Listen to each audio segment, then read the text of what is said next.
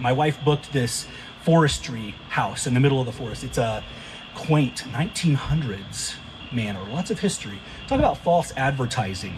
You know, we've already established that people don't communicate super well all the time, right? But I really would have appreciated the honesty of being told we were about to stay in a murder cabin. I am not kidding. This thing had an unexpected second floor. When's the last time you booked a place and found out it had an extra floor? On this second floor, there are three bedrooms. In each bedroom is a single bed and a few children's toys. And I'm not talking about Barbies and Hot Wheels and PlayStations, guys. I'm talking about old time, creepy doll, Titanic debris field kind of stuff.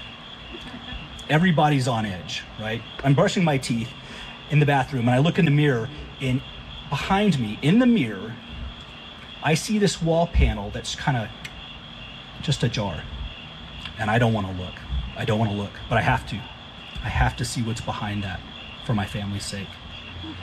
So, this is true. I pry open this panel and there's this cavity in the wall. And inside is a single dead mouse, and get this a makeshift bed.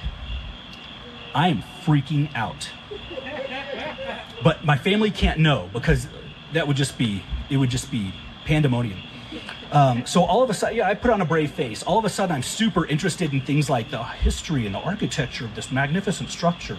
Like, wow, these walls could talk, huh? My wife's not buying it. She's like, I don't know about talk, but that one's bleeding. And you know, ordinarily, like any good red blooded Texan, I would be concealed carrying my AR 15 and my special pants leg. Not today, Britain. You know, just in case there's like one of those like one if by land, two if by sea sort of situations, you never know when that's going to happen, right? But here's the problem our final destination is British Columbia. For some reason, they don't take kindly to armed Americans in their country. Go figure. So I crawl into bed with the best weapon I can find. Just happens to be my wife's toenail clippers with a little flip out nail file. Not tonight. Please, God, not tonight. I start thinking about Skinwalker Ranch. Any of you guys seen that show? Anybody? I'm like, hey, once they find out it's an alien base underground, come on, you guys all know that's what it is. Uh, I think they should do a special on Murder House, right? And I must have fallen asleep because then I had a dream where Travis Taylor, the astrophysicist from Skinwalker Ranch, actually does investigate Murder Cabin. He was like, I could not figure out why my sphygmomanometer was pegging out, reading off the chart levels of ectoplasm in this house. So we decided the thing to do was to get Brandon on the horn, get permission to dig a hole. Because if you've ever watched Skinwalker Ranch, that's what they do when they're out of ideas. They dig a hole.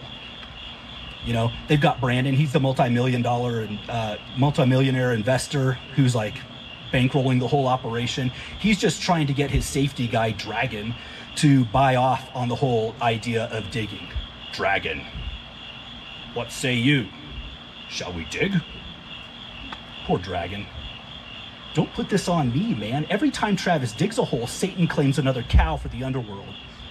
It's not safe. All the scientists giving Dragon like the, the side eye. They're all annoyed, standing in the way of progress. You know, Dragon, sometimes I just think you don't care about science. Thankfully, I woke up before they dug a hole and the aliens drained them of all their blood.